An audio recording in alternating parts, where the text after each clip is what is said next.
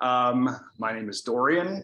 If you don't know me and what I'm about, uh, I can say something like uh, I help companies uh, uh develop uh, formal models of processes and structures. And by processes, I mean at all scales. So macro processes, uh, demographic, economic, even geopolitical, in which organizations are situated uh, business processes uh, uh, that uh, organizations themselves carry out. Uh, and then sub-process within those processes, so interactions between customers, users, products, services, et cetera, and even more fine-grained than that. And by structures, I mean the things that are affected by these processes, whether they are actor, prop, or scenery. Um, and since we're talking about models, these structures either represent something out in the world, so people, companies, products, events, or they don't. They're purely conceptual entities that exist inside information systems. Um, and finally, by formal, I mean models are capable of being manipulated directly by computer. So that hopefully gives you a sense of my point of departure. Uh, every project, at least every project I've ever encountered, has a part of its anatomy that goes like desired outcome to specific method. And the job of any project is to map the desired outcome to the specific method. And in software, once you've got this specific method, you're done.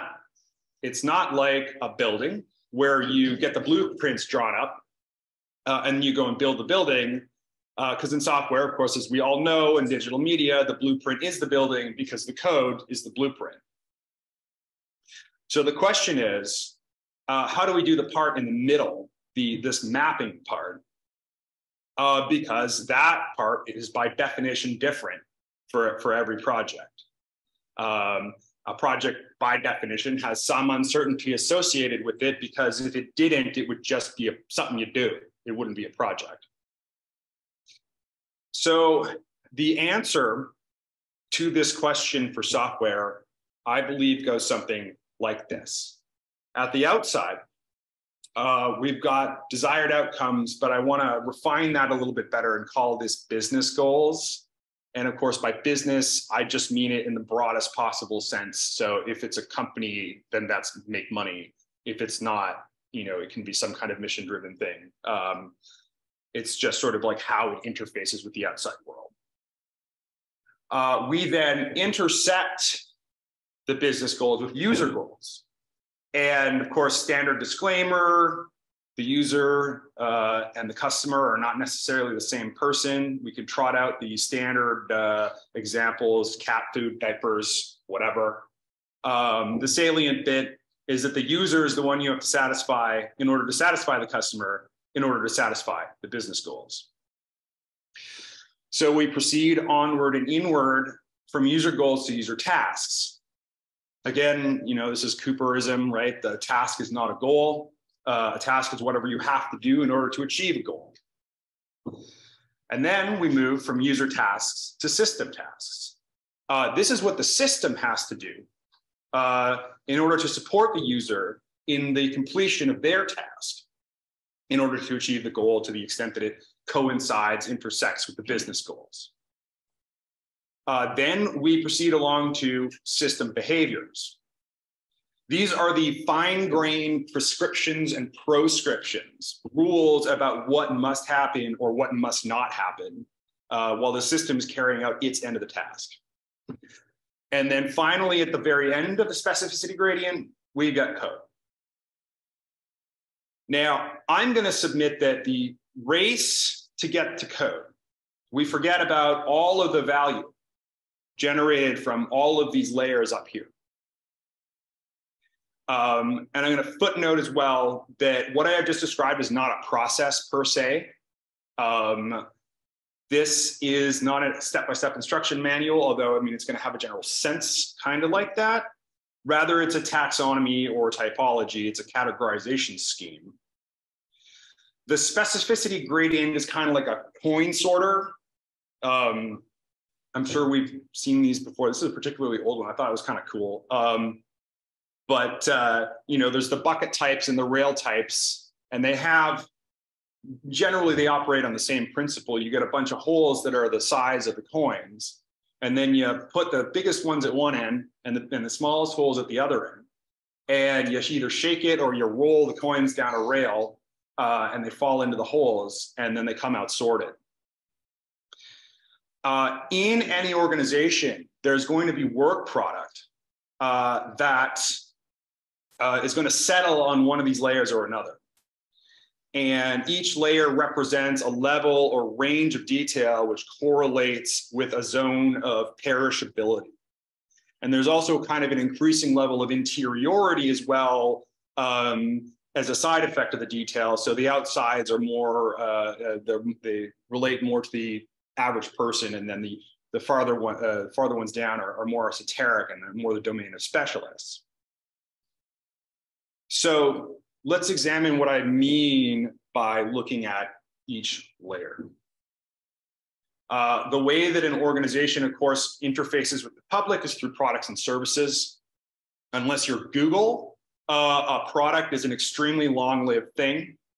Uh, individual products typically stick around for decades. And then when you get out of tech, uh, there's product categories that last even longer. So like car companies, for example, have been making cars for over a century now. Uh, you know, it's probably going to be another century before we get rid of them entirely.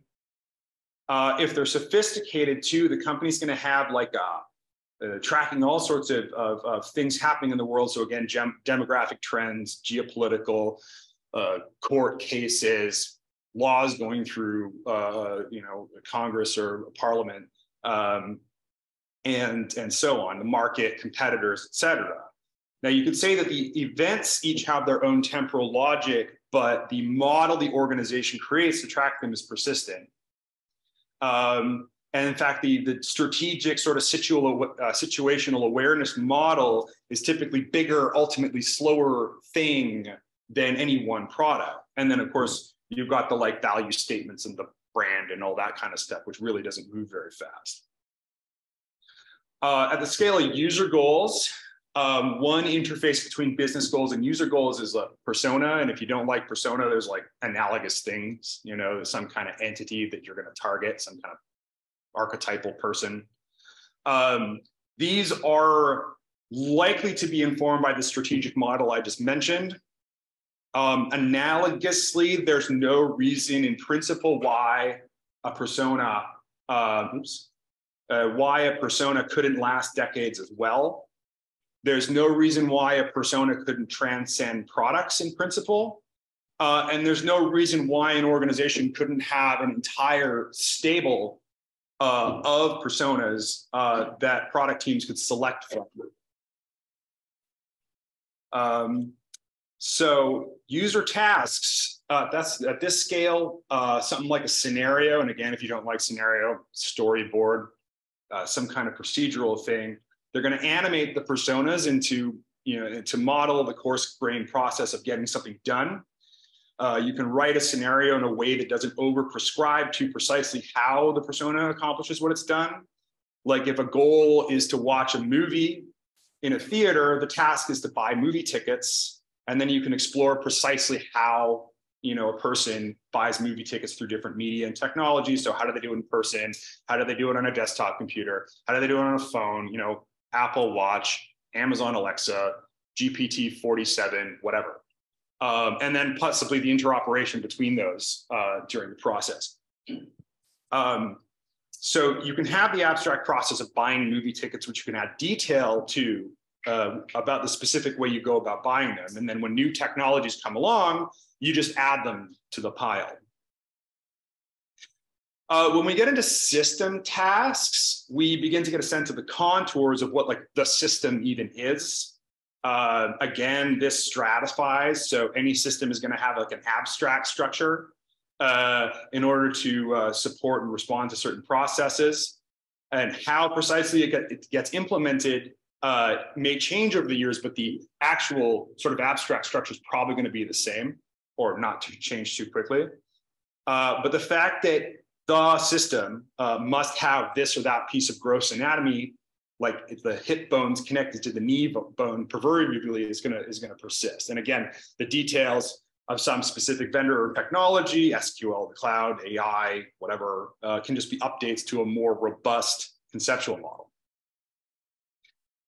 When we get to system behaviors, um, we're going to see prescriptions and proscriptions that are more and less durable more and less specific. And if you want an example of these kinds of objects, um, you typically see them in bug reports and unit tests. Uh, they will be the bullet point called expected behavior. Uh, in my experience, these rules are rarely as specific as to dictate uh, the kind of programming language to use or framework or vendor or platform. That's it. They, they could. Um, but uh, um, you know, they may they may only be relevant to a particular one of those of those things, uh, but they tend to generalize. Like it wouldn't matter what, like notwithstanding the fact that you you know you wrote it in a particular programming language, it wouldn't matter uh, you know, what the behavior would be, whether you're writing it in one language or another. So is there precedent for this? Oops, code. Yes, code is code. um, is there precedent? There sure is. So I'm sure some people were waiting for me to get here. Uh, Frank Duffy via Stewart Brand, shearing layers uh, and how buildings learn, the uh, the book and the uh, and the documentary documentary takes a lot less time than the book. Um, he laid, uh, and then of course, um, pace layers itself. So the, the, the, where are we here? Oh, okay. Uh, yeah, so the uh, first layer is site, and that's like, uh, so there's gonna be over time, buildings, you know, are gonna they're gonna exist. They're gonna be multiple buildings on a given site over thousands of years. Um, next is structure. Um, so any one building, it's going to be the load-bearing members of the building. I'll put that one up. So the foundation and the yeah, and anything that's actually holding anything up, those can last centuries. There's even like buildings that are well over a thousand years old. And there's buildings that are even older than that. Uh, next is skin. So that's the building envelope. That's the roof, curtain walls, windows, etc. These can last decades to centuries. There's services. Uh, services, so plumbing, electrical, HVAC, elevators, escalators, Wi-Fi, etc. Years to decades for these guys. Space plan is the non-load bearing interior walls that partition the space and governance usage. Um, again, years to decades, but like art galleries, museums and stuff will be putting up walls and tearing them down every few months. And then finally stuff. So furniture, merchandise, you know, the things that actually happen inside the building, uh, people, activities, etc. Um, so Brand uh, blew this out to civilizational scale, where he said nature changes on the order of thousands, tens of thousands, millions of years, you know, geological times measured in millions of years. Um, culture, hundreds of years to thousands of years. Governance, tens of years to hundreds. Uh, infrastructure, again, sort of tens to hundreds, but not as many. Um, commerce, years to decades. And fashion, which is weeks, months, maybe years, you know, memes last hours to days. So the theme, at least originally, was that each one of these layers would operate in its own domain and the edges would shear against each other. And the idea was is like nothing penetrated from one layer to the other. Um, so like kind of like the movement of a clock or like an astrolabe or something like that. Um, Brand later de-emphasized the shearing part of the shearing layers. I kind of like it though, um, because yeah, the concerns are considered apart from all the others. That is the structure depends on the site, but not the other way around. Fashion depends on commerce, but not the other way around. Uh, but yeah, whether we're talking shearing layers or pace layers, the aspect that is the same is that each layer, yeah, it's its own durability, perishability, um, And like, I'm actually more interested in the relationships between the layers, the sort of one-way dependency. So yeah, my contribution is the detail tracks with the perish the perishability. So um, again, it's kind of it gets more esoteric as it moves uh, moves sort of inward. Of course, it's really really hard to draw because you want to put more stuff in the in the inside. I try. Um, I'm I'm not, I'm not satisfied with the with the with how that looks yet. Anyway, so um, I should talk about how I got here. And so this is kind of story time. Uh, I was like a, I sort of have a funny career where I started doing visual design and then I started doing like really heavy back end code stuff in the early 2000s. So as a junior slash intermediate uh, uh, systems developer, I was working on original infrastructure and I was trying to find a way to do accurate time estimates um, so this led me to uh, invent a thing uh, I called behavior sheets. And the way you make a behavior sheet is you get an outliner, any outliner, doesn't matter. And you just start putting down bullet points about like whatever particular software module uh, you intend to write.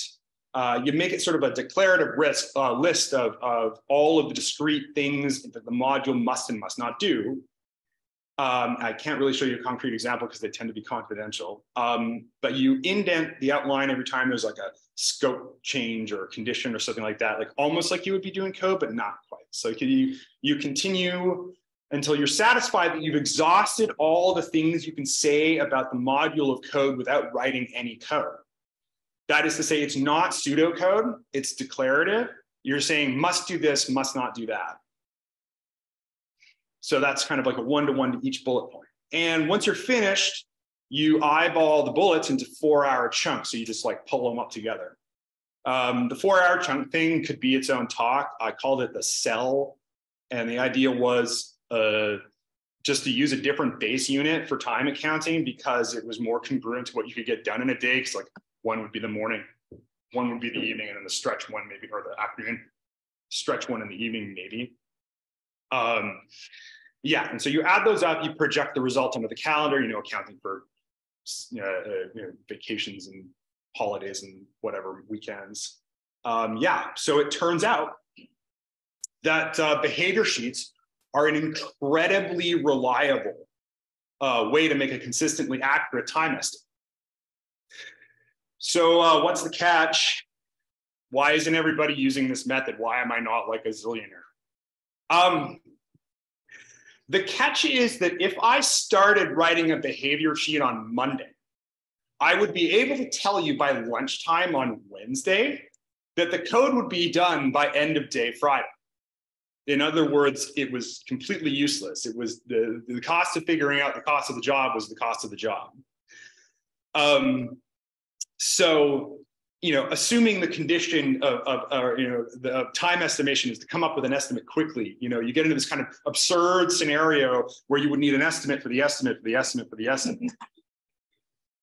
um, however, um, this does not mean that behavior sheets are not worth doing. Oops, what do I? Yeah, does not mean that behavior sheets are not worth doing. Uh, the code that I have written based on behavior sheets is a lot more regimented and organized. That is to say, the code itself was a lot more organized and the process of writing it was a lot more regimented. Uh, because a lot of the questions that I would have had to answer, a lot of the determinations that I would have had to make at the code level were already figured out one level chunkier than that. Um, yeah, so behavior sheets, they were useless for predicting the effort, but they were because they were too expensive in terms of effort, but they were useful for organizing effort. Um, the reason why the code estimates based on behavior sheets were so accurate um, be was because the behavior sheet had wrung out all the surprises. Um, so the behavior sheet was fundamentally like a cheaper medium to do this. Like if I just started writing code, it wouldn't have taken a week. It would have taken way longer, and I wouldn't have been able to tell anybody how long it was going to take at all. So, um, yeah. So and the it was considering the the qualitative content of the behavior, uh, not the actual details of how the behavior was implemented. It was just saying what it must and must not do. Um, the other benefit of behavior sheets is that little to none of their details, yes, I would say that already, they just don't deal with any particular programming language because they're slightly more abstract than that. Uh, it means you could write one behavior sheet that prescribes what to do, uh, and it would be the same for Python, JavaScript, you know, Swift, Ruby, whatever. Um, there might be some minor language specific details, like I'd say like 5% maybe. Uh, and then the time estimates might be incrementally more or less depending on the programming language. Of course, if you're like writing in C, it's going to take longer. Um, and if you're familiar with programming at all, you'll know that programmers write test suites uh, in code to determine that if the implementation code that they write, as opposed to the test code that they write, exhibits the correct behavior. Um, behavior sheets effectively specify what these test suites should test. And yeah, so pretty much every bullet in a behavior sheet is going to correspond to an individual test case. Um, and this is, you know, one thing I could see, but I haven't gotten here yet, is being able to reference a behavior sheet uh, from the unit tests or otherwise use the behavior sheet to generate a skeleton for unit tests. Uh, and I want to say like this is something I use. Like I want to underscore that this is stuff I have done and still do because um, like most of the code I write is libraries, and a lot of those libraries are spec implementations. Uh, so you know, once you've made an implementation in language A, it's a heck of a lot less work to write the same thing in language B. Again, because you've already wrung out a lot of like how, like if, if most of programming is just like trying to decide how you're going to represent it. So once you've got done that work once, you can just copy it like modulo the the details, the language specific details. So where am I here? Um, yeah, so the idea that there could be a medium or representation one step removed from code uh, that could be used to inform parallel implementations of code uh, was things that got was the thing that got moving uh, inside my head.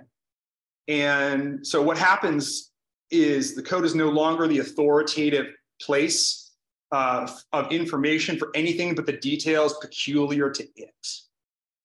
Uh, because the description of how the code should behave is being driven from another place. So yeah, you could abstractly that away one step, two step, three steps. But moreover, what if you went the other way around? What if you went the other way, outside in?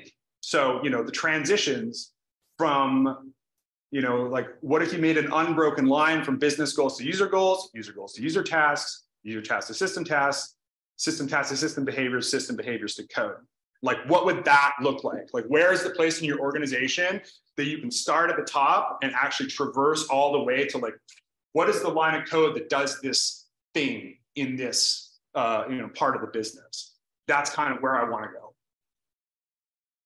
So this has been like bothering me professionally for years. We're into our third decade uh, since the year 2000. Uh, we're partway in at least, and two generations into the era of personal computers. And we're still doing an insane amount of work that computers both could and should be doing, and we're doing it by hand. And you know, the situation is not helped by the fact that organizations are highly forget, forgetful entities. Uh, policies that get executed that nobody remembers why, we can call those vestiges. I should have made a slide for this. Uh, and then policies that used to work that no longer do, we can call those regressions. Uh, I gotta uh, thank uh, Kartik Agaram for that. I really should have done a slide for that one one. Uh, but yeah, it's like, you know, not only is the outside environment constantly changing, but people are continually joining and leaving the company and moving around within it. So, you know, at least, you know, part of the problem is that the state of the art of documentation is hot garbage, like still after all this time. Because documentation is extra work that trails behind the actual work. And documentation governance, like maintaining the documentation, making sure handoffs occur, you know, making sure that it's like somewhere authoritative, people know where it is, and so on and so forth, is like extra, extra work on top of extra work. And then most documents, uh, most documentation exists in documents and, and documents make lousy documentation. And what I mean by this is like, you know, imagine your kitchen and you've got all kinds of ingredients in the kitchen. Uh, you know, you got dry things, you know, honey lasts thousands of years, uh, literally. You know, there's, they find it in Egyptian tombs and stuff. Um, so yeah, the pasta is going to be still good in a decade. It'll be fine, right? Um, you know, frozen things will last like six months before it gets freezer burn, you know, et cetera, et cetera. But you know, the the steak, the fish, you know, the the the vegetables, like they're not going to last very long. So in this metaphorical framework, a document is kind of like a meal. Uh, it mixes together all the ingredients, not particularly necessarily those ones. Um, it plates and presents them, and it optimizes them for consumption. However, the result is something of the most perishable variety like maybe you can freeze it if it's the right kind of thing. Uh, you know, most prepared meals have a pretty short shelf life. You know, you put a burger in a takeout container, you don't want to eat that 20 minutes later, even. Um, so yeah, uh, they're way, way, way more perishable than any one of the most perishable ingredients you put in it. And yeah, like leave it any longer and it becomes actual poison. So what I'm uh, uh, arguing here is that documentation needs to be more fluid. Documentation needs to drive development processes rather than trail behind them. It needs to be passively collected and updated wherever possible. So like you're just doing your thing and there's a thing, you know, we're really good at that in the tech industry. Okay, like we are spying on people all the time and socking that in, a way in databases. Like, why aren't we doing that for internal processes?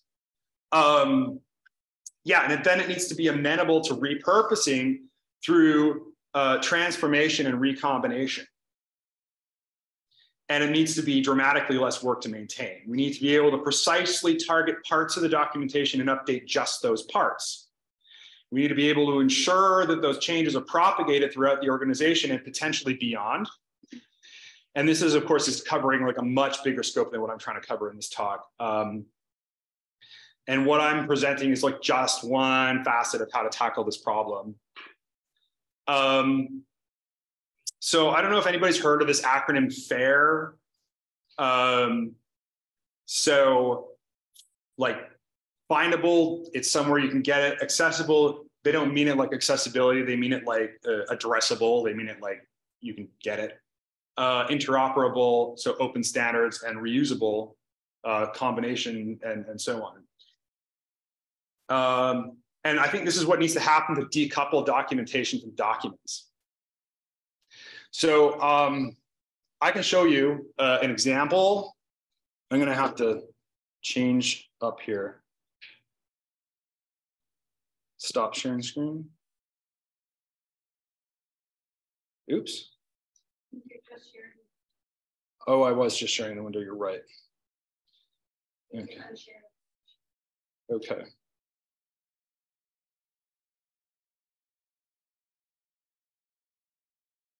Where are we here? Here we are. No, that's not here we are. Okay. So this is something I'm working on. This is an old, it's an old prototype of a tool, uh, but more importantly, it's a demonstration platform for FAIR principles. There's about half a dozen kind of experiments going on at once in here. Uh, I actually started working on this thing in 2013 before I even knew what FAIR was. I don't even think the FAIR people knew what FAIR was because they came up with their stuff in 2016. Um, so what you're seeing on the screen is an implementation of Horst Rittel's issue-based information system, or IBIS for short. Uh, Rittel was the guy who coined the term wicked problem. A wicked problem is one where multiple stakeholders, no real clear solutions. There's only better and worse. Uh, so does this sound familiar to like anybody? So IBIS was a, the collaborative process Rittel and his colleagues invented in the 60s, and it's a form of structured argumentation. Uh, and if you heard of structured argumentation, like or Douglas Engelbart in the uh, uh NLS and so on, Uh, but its purpose is to aid in the gener uh, generation of design rationale. And they were implementing it on index cards in the 60s, the ones with the knitting, knitting needle, you pull out the, uh, the index cards. Um, which was is crazy. Like there's been other attempts to digitize this thing. They kind of look like files and folders. Um, I decided to go with a wacky graph, uh, hyperbolic graph. I'll get into that in a second. Um, so going all the way back to 1988, and there's like plenty of extant versions. Uh, mine is kind of like a experiment, like I said, there's like half a dozen experiments happening all at once. Um, but I have the lozenge on my screen anyway. Um, so I'll just explain what's going on here. So the, the thing on the left is what you're seeing in context, uh, and, the, and it corresponds to the dot in the center. Uh, that's an issue. So an issue, like the red ones are issues. Um, it's a state of affairs uh, in the world you either want to do something about or have to steer around. Um, an issue is responded to by a position. And then again, the uh, these uh, sort of represent the neighbors, the links in the neighbors uh, uh of the immediate uh, of the thing in the center. Uh, so it's sort of the, the the lozenge just replicating what you're seeing on the graph. So a position is an explicit prescription for what you want to do about a particular issue and these are the green ones. And, and then an argument is why or why not. And I want to say the palette's not final. I mean, none of this is final. I was actually in the middle of rewriting this thing, uh, and then I had to come here. So uh, somebody finally wanted to pay me for this. So, so there you go. Um, so issues, positions, and arguments are connected together through a controlled set of semantic relations. So any individual entity can generalize or specialize uh, any other kind of entity of the same kind. So this generalizes these down here. Um, it doesn't matter what any of it, the content of this doesn't, doesn't really super matter. Um, I thought about doing the talk in this thing and I decided against it. Um, so yeah, uh, and any entity in a system can suggest an issue. So this suggests this issue or it can be questioned by an issue. So the, the yellow and orange are suggested questioned by. Um, any position can respond to any issue. And this does not have an argument for it, but this one does. And then an argument can either support or oppose a position and the, that's like the bright green and red. I think I've just got the green. That's fine. Um, so this is just like nothing is original here. I'm just like implementing the contents of like academic papers. Um, well, the hyperbolic graph, that's me, but uh, but everything else is just me trying to implement. Um, but like my contribution here is like if I was going to say that the closest thing in this, the closest product to this thing is like an outliner, except that like each bullet point gets its own web page. Uh, furthermore, each bullet point is like a durable permalink um, that you can point to directly. It will never 404 unless you're dumb enough to delete it. Um, and then finally, each bullet point is connected to its neighbors using a controlled vocabulary of semantic relations. Uh, and then we can use those to compute. Uh, so this tool is like fully transparent with respect uh, to its instance data and the schema that powers it. And like if some that means like if somebody else is going to make a completely different tool, they they could just dump the data out of this and load it into that. It'll be fine. Uh, you know, and vice versa. We'll go back and forth. So the connection to the specificity gradient, this thing uh, is is is that you can see that that this kind of has a sense, and there's a small number of things in the middle and a larger number of things toward the edges. And like when you get out to the edge, you can kind of see that like oh, I'm in the weeds here because it kind of rebases the center to be sort of far away. And then you kind of get, you know, this is the, this is the best I could come up with to, to draw this stuff because you get more stuff. So it's kind of like an inverted flip. You got, it takes some getting used to. This is why this is not a product yet. Um, where are we here? So I also have um, verticals uh, for specific design disciplines. So I have a robust content inventory vocabulary that's like this, where I do like audiences and like anti-audiences, and then you can like filter content based on that. Um, and I got an interaction design vocabulary, which is like in the works as well. And I also have like a general purpose process model vocabulary that like extends this IBIS stuff with like uh, uh, expectations for like time and money and people and who's going to actually rather than like I want to do this, it's like I'm going to do this. And then um, again, like everything is fully addressable. Um, yeah, so